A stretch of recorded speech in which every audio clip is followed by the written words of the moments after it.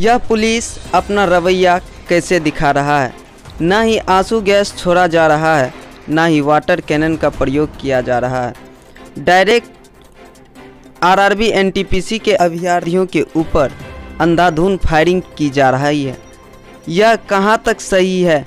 जिस तरीके से आरआरबी एनटीपीसी के अभ्यर्थियों के ऊपर फायरिंग की जा रही है, क्या उनके जान के साथ खिलवाड़ किया जा रहा है?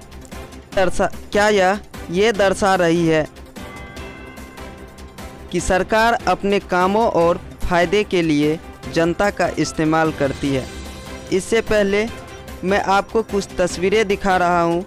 ये तस्वीर सीतामढ़ी की है, जहाँ पर आरआरबी एनटीपीसी के छात्रों के धरना प्रदर्शन के वक्त ना आँसू गैस, ना वाटर कैनन का प्रयोग किया जाता है। बल्कि डायरेक्ट अंधाधुन फायरिंग की जा रही है। क्या अब यह छात्र सरकार की नज़र में अपराधी बनती जा रही है? एक तरफ़, अपराधियों को पकड़ते वक्त पुलिस प्रशासन की गोली नहीं चल पाती है, लेकिन इन निर्दोष और निहत्ते अभ्यर्थियों पर गोलियाँ बरसाई जा रही है। यह सब कहाँ तक सही है? उसके बाद मैं आपको यह भी बता दूँ, जहाँ पर आरआरबी एनटीपीसी के छात्र अपने रिज़ल्ट से नाखुश होकर धरना प्रदर्शन कर रहे हैं। वहाँ इन छात्रों को बेरहमी से पीटा जा रहा है। तो कहीं गंदी गंदी गालियाँ दी जा रही है। ये लोग पढ़े लिखे छात्र हैं। क्या इनको गालियाँ देना उचित है? कहीं ऐसा करके सरकार अपराधियों को तो बढ़ावा नहीं दे रही है। क्योंकि ये जब पढ़ाई लिखाई करके, मेहनत करके, एग्ज़ाम को क्वालिफाई करने वाले अभ्यर्थियों को न्याय नहीं मिलेगा। तो आखिर ये करेंगे तो करेंगे क्या? ऐसे में लोग अपराधी ही बनेंगे। आखिर किस तरीके से काम कर रही है सरकार?